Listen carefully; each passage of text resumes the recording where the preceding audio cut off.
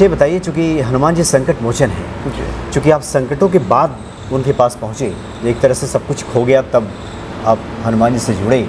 उसके बाद जीवन में क्या कुछ बदलता है हम चाहते हैं कि भक्तों को अगर आप बताना चाहें। मेरा तो मैं सीधी सी बात होता हूँ मेरा जीवन ही बदल गया। आज की डेट में मेरे पास खोने के लिए कुछ भी नहीं है फिर भी मैं मैं कहता हूँ मुझसे ज़्यादा सुखी कोई नहीं होगा। हम्म, कुछ भी नहीं है मेरे पास खोने के लिए।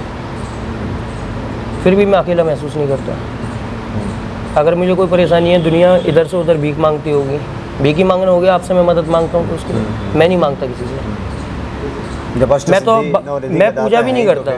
मैं बाबा से माँगता भी नहीं हूँ। मैं तो लड़ बैठता हूँ अपने बाबा से। मुझे चाहिए तो चाहिए। जब माता पिता आपको मांगा है तो फिर किसी और से क्यों मांगने जाऊँगा मैं? मैं तो आपसे मांगूँगा ना। तो या तो अपनी भक्ति को इतना दृढ़ कर दीजिए कि वो आपके पास खींचे चले हैं आपकी आवाज़ पर वो आपको हर चीज़ ला कर दें। मतलब इतना गहरा लगाव इतना और गहरा अधिकार है। जय सिया राम जय जय श्री राम बोल बालाजी महाराज की जय। लहे तुम्हारी चरना तुम रक्षक तुम रक्षक को काहू सब संभव है हनुमान जी कृपा से। इस वक्त बालाजी महाराज के एक भक्त हमारे सामने उपस्थित हैं। और सबसे अच्छी बात है कि आपसे बातें हो रही थी। आज के समय में उन सभी नियमों का लगभग आप पालन करने की कोशिश करते हैं। जो कि एक हनुमान जी के भक्त बालाजी के भक्त को करना चाहिए। करना चाहिए। पहले तो स्वागत है आपका जय सिया राम सीताराम क्या शुभ नाम हुआ आपका? आशीष शर्मा। जी।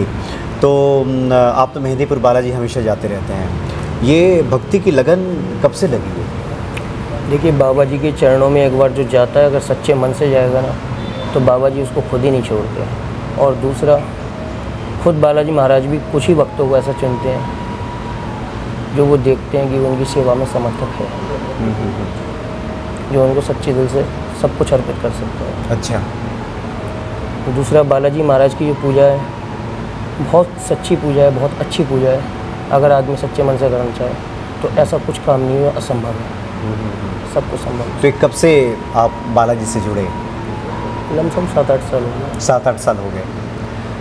तो इसके पीछे कोई ऐसी प्रेरणा रही कुछ ऐसी घटना घटित हुई जिससे कि बालाजी के प्रति आपका ये प्रेम बढ़ गया?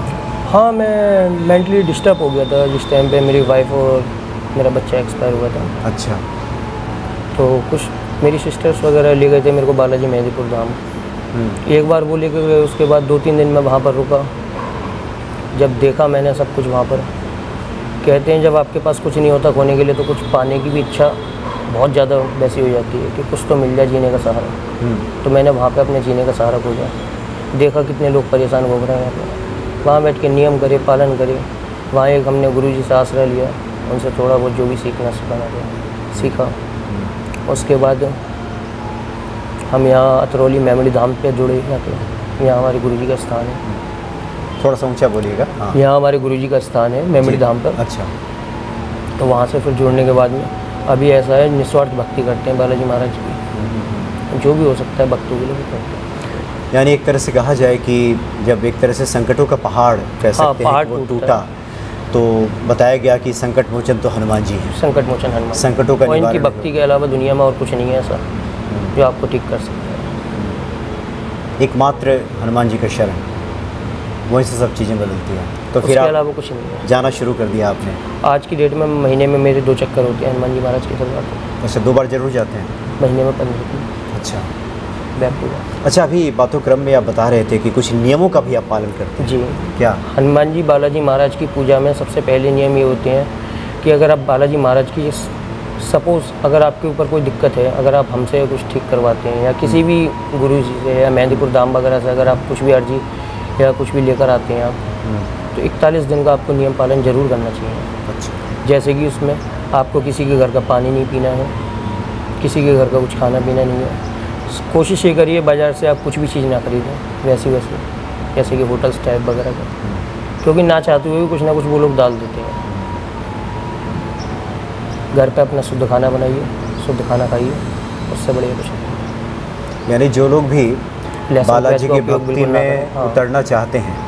इकतालीस दिन के नियमों का पालन करें जो भी बालाजी की अर्जी लेकर के जा रहे हैं। हाँ। या घर में ही अनुष्ठान आपने किया? घर में अनुष्ठान किया है। जैसे कि हम लोग उठावनी देते हैं बालाजी महाराज की उठावनी होती है। आप सपोज़ आपके ऊपर कोई संकट आ गया है आपने हमसे संपर्क किया तो हमने आपको एक उठावनी दे दी कि ये बालाजी महाराज की चरणों की एक टाइप से उठावनी हो जाती है हमारे लिए। हम उनके चरणों में से उठा के देते हैं। तो उसकी आपको इकतालीस दिन पूरी निस्वार्थ भक्ति भाव से सेवा करनी पड़ेगी। सुबह शाम दीपक दिखाना उसको। लहसुन प्याज का घर में पर पूरे परिवार में किसी को भी उपयोग नहीं करना है। कड़ी बंद हो जानी चाहिए सफ़ेद खाना बिल्कुल बंद हो जाना चाहिए। अच्छा। हाँ। इसलिए आपने बताया कि आपने चावल चावल नहीं खाने आपको। मैंने तो कुछ सात साल से छोड़ रखे हैं। सात साल सात साल हो चावल नहीं खाता। अच्छा। जबकि मेरे घर में बनाने वाला कोई नहीं है। मैं खुद आज भी सुबह शाम चाहे दो ही रोटी बनाऊँ बालाजी महाराज के लिए अपने हाथों से बना खिलाता हूँ। हम्म। मतलब भोग लगाते हैं उन्हें? सेवा जब एक बात बताइए मेरे माता वो हैं पिता वो हैं तो उनका बच्चा अगर मैं हूँ तो उनको खाना नहीं खिलाऊँगा। बना तो अगर किसी से आप जुड़ते हैं तो पूरी तरीके से जुड़िए नहीं तो बिल्कुल मत करिए मतलब ये भाव है आपका कि। अपने हाथों से बनाकर अपने आप बालाजी महाराज को भोग लगाते हैं। और वही भोग हम खाते हैं।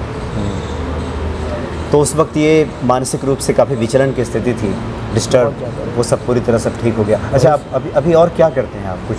मेरा इंटरनेशनल कुरियर का काम है वैसे। अच्छा वो संभालते हैं आप। हाँ तो बट बाकी वो लड़के वगैरह संभालते हैं मैं अपने इसी काम में ज़्यादा रहता हूँ पूजा पाठ वगैरह। अच्छा वो तो जीवन यापन के लिए है हाँ। लगता है कि मेन तो आपका हनुमान जी है। हनुमान जी है जीवन का अच्छा ये बताइए चूँकि हनुमान जी संकट मोचन है चूँकि आप संकटों के बाद उनके पास पहुँचे। एक तरह से सब कुछ खो गया तब आप हनुमान जी से जुड़े। उसके बाद जीवन में क्या कुछ बदलता है? हम चाहते हैं कि भक्तों को अगर आप बताना चाहें। मेरा तो मैं सीधी सी बात होता हूँ मेरा जीवन ही बदल गया। आज की डेट में मेरे पास खोने के लिए कुछ भी नहीं है फिर भी मैं मैं कहता हूँ मुझसे ज़्यादा सुखी कोई नहीं होगा। हम्म, कुछ भी नहीं है मेरे पास खोने के लिए। फिर भी मैं अकेला महसूस नहीं करता। अगर मुझे कोई परेशानी है दुनिया इधर से उधर भीख मांगती होगी भीख ही मांगना हो गया आपसे मैं मदद माँगता हूँ तो उसकी मैं नहीं माँगता किसी से। मैं तो मैं पूजा भी नहीं तो करता। फिर- मैं बाबा से माँगता भी नहीं हूँ। मैं तो लड़ बैठता हूँ अपने बाबा से। मुझे चाहिए तो चाहिए। जब माता पिता आपको मांगा है तो फिर किसी और से क्यों मांगने जाऊँगा मैं? मैं तो आपसे मांगूँगा ना। तो या तो अपनी भक्ति को इतना दृढ़ कर दीजिए कि वो आपके पास खींची चले जाएँ आपकी आवाज़ पर वो आपको हर चीज़ ला कर दें। मतलब इतना गहरा लगाव। और अधिकार है। कि इस अधिकार के साथ व्यक्ति एक तरह से लड़ बैठे कि लड़ बैठे चाहिए तो चाहिए। चाहिए तो चाहिए। कि मेरे माता पिता आप हैं मेरे परम परमेश्वर आप हैं तो मैं किसी और के पास क्यों जाऊँ? मैं किसी और के आगे हाथ क्यों फैलाऊँ? मैं तो आपसे मांगूँगा। नहीं बहुत बढ़िया आशीष जी और बड़ा आनंद आया आपसे बातचीत करके। हनुमान जी के भक्तों से मिलकर के भी आनंद बहुत मिलता है। बहुत बहुत धन्यवाद आपका। सीताराम। जय सीताराम सभी